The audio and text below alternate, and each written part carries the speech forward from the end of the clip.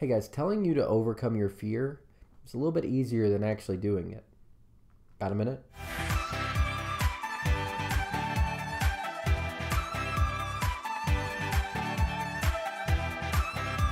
It's true, isn't it? Whenever we're afraid of something, it's like we lock up sometimes and we just close off ourselves from the world. We would do anything to separate ourselves from the situation or the thing that we are scared of. Now, I've talked about go at fears, the fears that if we're afraid of that we can go at and we can just overcome by going at them, but that's a lot easier than it sounds. So, what do we need to do in order to overcome those fears? And what I want to share with you is this. When I am afraid, I put my trust in you when we are going uh, going at these fears and they might seem illogical why would i you know be afraid of this thing? Why would i be afraid of heights? Whenever i'm pushing past these things it's because i'm saying uh, in my mind all right god i'm putting my trust in you. God i know you said that you wouldn't leave me or forsake me God, you didn't give me a spirit of fear. And I remind myself of the promises that He gives me. So whenever you're confronting your fear, and because you don't want to live that way, you don't want to live under a spirit of fear, then one thing that you need to do is you need to remind yourself of what God says about you.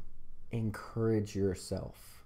And you don't have to do it alone, do it with someone else, you know, like have them come with you.